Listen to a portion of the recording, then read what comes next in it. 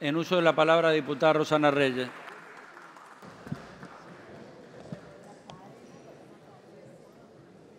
Gracias, señor presidente.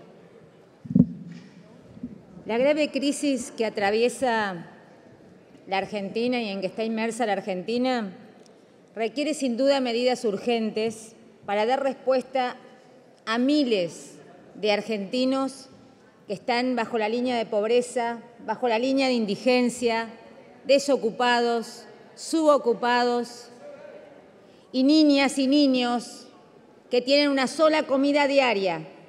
Y esto tiene que interpelar a la clase política.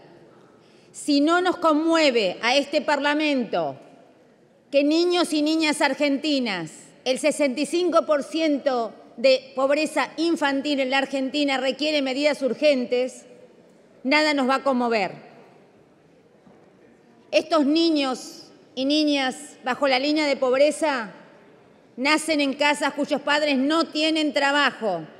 No es que estamos por precarizar las relaciones laborales, ya están precarizadas y en muchos casos y fundamentalmente por el Estado. De modo tal que lo que tenemos que hacer hoy es tomar medidas urgentes, entre las cuales está, señores diputados y diputadas, señor presidente, crear trabajo, crear posibilidades y crear condiciones. ¿Quién va a querer invertir en un país donde de un lado y del otro de la Cámara de Diputados, de uno de los poderes del Estado, no se puede llegar a acuerdos acuerdos básicos que garanticen estabilidad, estabilidad fiscal, que garanticen seguridad y que finalmente atraigan inversiones a nivel región y a nivel mundial. Es por eso que hoy los parlamentarios tenemos realmente un desafío y es dar esas respuestas que están pidiendo esos miles de niños y niñas que comen una sola comida diaria. Tenemos 6 millones de trabajadores en negro. El 50% de los trabajadores tienen empleo no registrado. ¿De qué precariedad laboral me dicen que estamos por generar ahora? Tenemos que darle trabajo a esta gente que no tiene trabajo y que claramente esta situación no la hizo este gobierno. Una inflación que ya conocemos acumulada del 287% interanual. La industria cayó 6,8%. Argentina no crece hace 10 años. ¿Qué estamos esperando para dar respuestas, para ponernos a trabajar en este sentido? Y las pymes tienen el mismo empleo registrado que en el 2007 los empleadores no contratan porque es caro. Si no hay libertad para terminar una relación laboral, tampoco va a haber libertad para iniciarla y para contratar.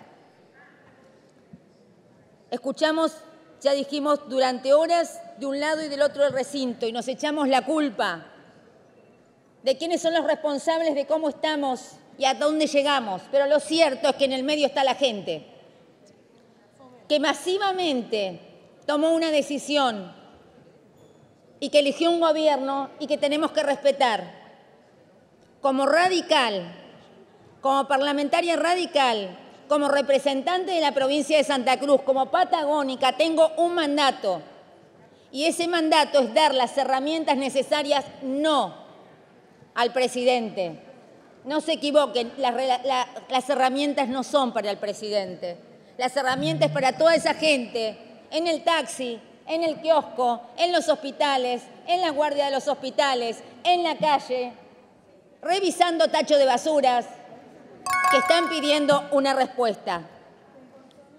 Señor presidente, voy a hacer una breve mención a algo que ha sido muy importante para mi provincia y para la Patagonia, que es el mantenimiento del subsidio al gas domiciliario en zona patagónica, porque esto también demuestra que hemos superado por encima del debate de enero donde no estaba previsto, porque para los patagónicos y para los santacruceños el consumo del gas domiciliario no es un lujo y demuestra también que se ha logrado a través de consensos respetar algunas vulnerabilidades que nos atraviesan.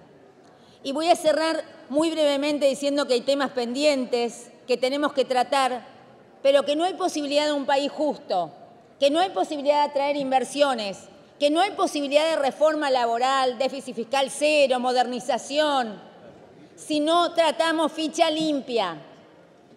Este es el debate que queda pendiente, ficha limpia.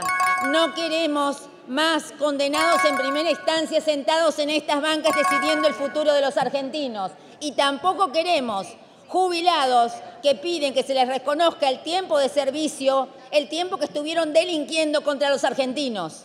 Esto es lo que, el debate que tenemos que dar. Animémonos a ir contra esa casta también. Gracias, señor presidente. Gracias, diputada Reyes.